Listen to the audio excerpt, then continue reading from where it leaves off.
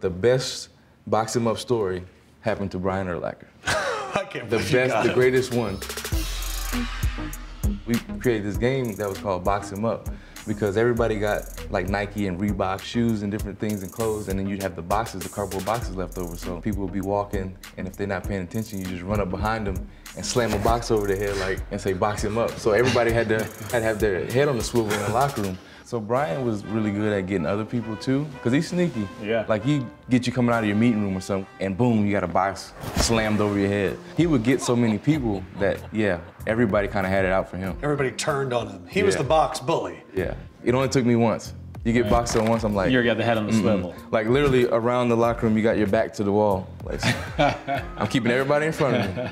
I think the D line brainstormed on like what would be the best way to try to get him. And I mean, it's, it's it was brilliant. I'm imagining the D line doing like a space shuttle launch. Yeah, they probably had like protractors and all kind of stuff. You know, it's, it's Urlacher, so you gotta get him. Yes, right. I don't know how they got this box, but it was like a six foot box. And in our locker room, there's stairs to go to the second floor where all the cardio stuff is. And there's a platform, so you can't see who's up there.